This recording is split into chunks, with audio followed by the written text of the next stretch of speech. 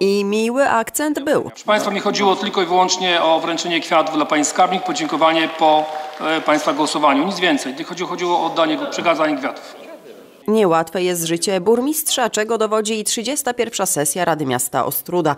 Radni zmniejszyli wynagrodzenie Zbigniewowi Michalakowi o połowę, z ponad 10 tysięcy złotych na niecałe 5 tysięcy złotych, ale po kolei. Nie da się e, prowadzić miasta do sukcesu, do, dla powtórzenia tego, do uwypuklenia, jeśli się nie będzie współpracowało właśnie z radnymi, ze starostą, wójtem, z mieszkańcami, z marszałkiem, bo rzeczywiście na dowód tych, e, to, że z mieszkańcami jest nie, słabo się pan dogaduje, to te prawie 5 tysięcy głosów w referendum wybrzmiało. Wypunktowano to, co boli najbardziej. Szczerze, y, łza się wokół kręci, jak widzę właśnie to, o czym już Państwo radni wspominaliście, czyli wyciąg nar wodnych, a także y, pomost na jeziorze Drwęckim przy ulicy Turystycznej, który już był remontowany, ale jest zamknięty, jest zakaz kąpieli. W 2019 było to 280 tysięcy złotych. Teraz po awansie Sokół dostanie 235 tysięcy złotych, czyli jest stratny 45 tysięcy. Do tego można dołożyć podwyższenie im czynszu.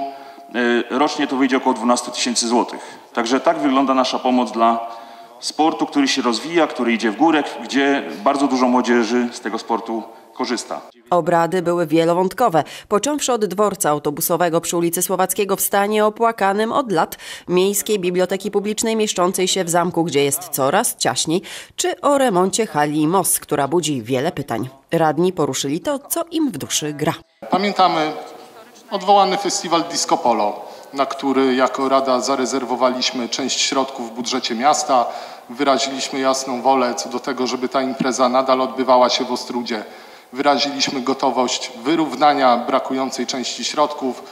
Natomiast e, negocjacje pana burmistrza z organizatorami przebiegały w ten sposób, że festiwal e, wyprowadził się z Ostrudy.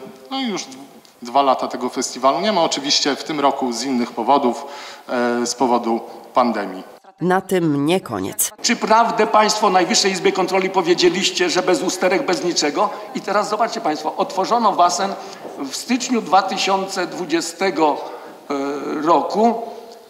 Króciutko zamknięto go i co? Teraz powód jest jaki? Koronawirus? Może po części był, ale z tego co wiem w Morągu, no i nie chcę znowu następnego miasta konkurencyjnego z tego, e, po prostu funkcjonują. Najgorętsze punkty obrad to udzielenie absolutorium Zbigniewowi Michalakowi oraz wotum zaufania.